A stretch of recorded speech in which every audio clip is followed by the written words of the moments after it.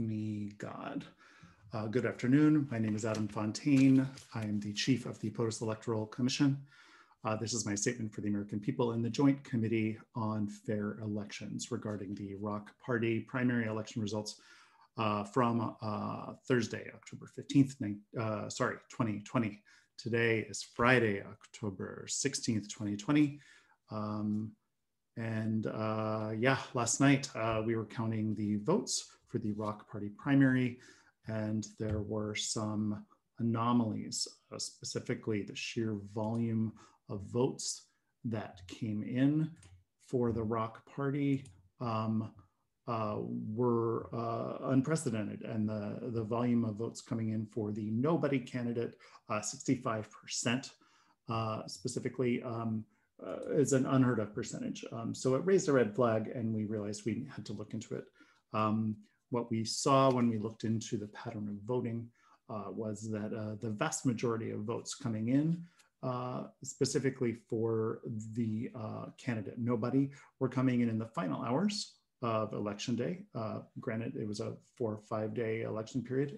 there's no crime in voting late. Uh, but there were other anomalies, in, notably 453 of these votes uh, all came in from three IP addresses. Uh, so we realized we needed to uh, obviously investigate that a bit more, and we, uh, we have now concluded our investigation. let me walk you through it um, so that we can lay to rest any concerns and share with this committee and the American people uh, the Commission's final ruling on this primary. Um, so bear with me. Uh, if we look at the first of the three IP addresses, um, granted we've screened some of the digits uh, so that uh, you are not um, going to invade anybody's privacy. we wouldn't want that to happen. Um, uh, 51 votes came in from the first of the three addresses. 100% uh, of these votes were single vote ballots for the nobody candidate. Uh, single vote ballot meaning me, means they, they, they came in, uh, they just voted for nobody. They didn't rank any other candidates in the Rock Party, and they didn't vote for any other uh, party primaries either. Um, there's nothing illegal about voting this way, but the fact that all of these uh, votes uh, shared that similarity uh, obviously raised some concerns. Um, we spoke with officials in the Nobody campaign, however, and uh, they they said that there was a, a meeting, a public uh, convening happening in South Florida, where they knew that many of their voters would be using the same computer, and that does explain why these votes would be coming in with the same uh, IP address. Um, likewise, there was a variety of answers to the residency question, uh, which, which means these were not likely bot votes. These were likely humans who were considering the question, where do you live? And they were answering appropriately. Um, I live in the DC metro area, I live in real America, or I'm a citizen of the world. Uh, there was one vote uh, which selected other and did not provide any other information.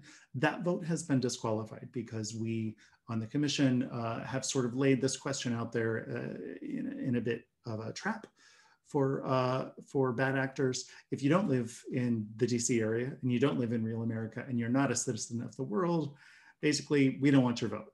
Um, you're some sort of extraterrestrial alien, maybe uh, beaming in from some other solar system, maybe you're even a hologram. We, we don't know, but you're not entitled to vote in the POTUS Among Us uh, election. So we did cancel that vote. Um, these votes were coming in real fast as well, which was a concern. The average uh, vote was coming in in under 45 seconds, whereas overall, uh, typically a voter spends about 10 minutes with the POTUS Among Us ballot.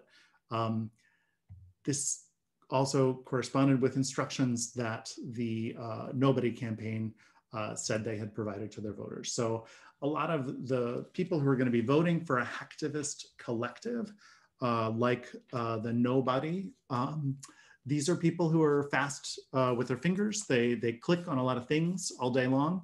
Uh, and so giving them instructions for how to vote quickly, get in, get out, um, that, that was really playing to the base uh, that, that the Nobody Party, or sorry, the Nobody candidacy campaign was uh, trying to trying to achieve, uh, trying to capture. So uh, again, those votes uh, totally legit, it would seem.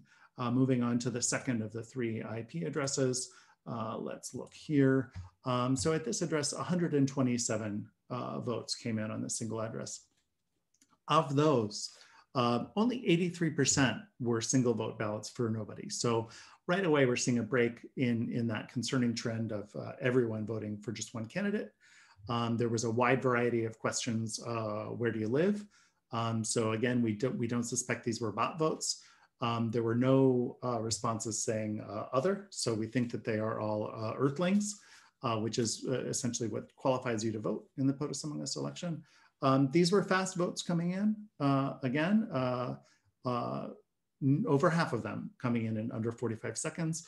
But, but again, um, th these are people who click fast. So we, we cannot prejudge their votes um, simply based on the fact that they're doing it too fast to even think about what they're doing. Um, uh, so we deemed all of these votes also to be legitimate. So um, that's two of the three IP addresses, um, checking out essentially uh, when we investigated further, um, uh, leaving, leaving one, leaving uh, the third of the three IP addresses. And, and this is frankly the big one. This is the doozy. Um, so let's uh, take a look here. Um, if you will, uh, yes, the um, this IP address, uh, 275 votes came in. 100% um, of them were single vote ballots for nobody. Again, single vote ballot meaning selecting nobody in the Rock Party and no other candidates were ranked, second, third, or fourth, etc. Uh, and then also making no selections in the other parties, the paper party and the scissors party also on the same shared open primary ballot. There was no variety again to, uh, to the question, uh, where do you live? Um, everyone was marked uh, as a citizen of the world. Um, the, these votes were fast, uh, extremely fast, uh, under 15 seconds. Uh, these votes came in, um, averaging nine or 10 seconds per vote.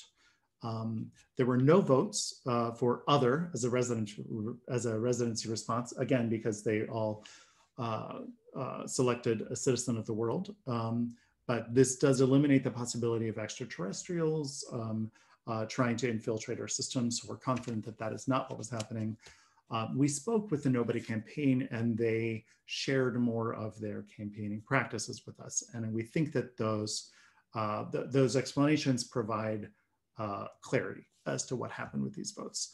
Um, the Nobody campaign used a, a, a website called hack.chat um, to harvest proxy votes for this primary. Uh, proxy votes I know are very controversial. Um, it's when somebody basically indicates to you what their vote is, and then you carry that vote forward into the actual balloting process. Um, a lot of people don't like proxy votes. They think they're not American, but they were not specifically outlawed in this primary election. Therefore, we cannot eliminate these votes based on that. Um, the Nobody campaign also posted uh, uh, apparently information about the voting and invitations to participate in threads labeled for laughs and trolling. Um, again, when you look at the nature of the Nobody campaign, we're, we're looking at a hacktivist collective, an anonymous hacktivist collective, people who are into trolling and into posting things for laughs are going to be the base for uh, a candidate like nobody. So we think this is essentially them reaching their base effectively. We know that uh, a lot of Americans uh, get concerned when you're looking at things like anonymous hacktivist collectives, but uh, they also have a voice and they have clearly made it heard. Um, uh, when when you come down to it, we're talking about a fundamental American principle here, which is the sanctity of the click. Um, we are confident that every vote um, that came from this IP address uh, did in fact represent the click of somebody who wished to select nobody uh, as their candidate. Um, the way this was achieved was the Nobody Party collected those votes and then basically tailored them uh, including the names of the voters into a script, uh, which then interfaced with the POTUS Among Us official ballot.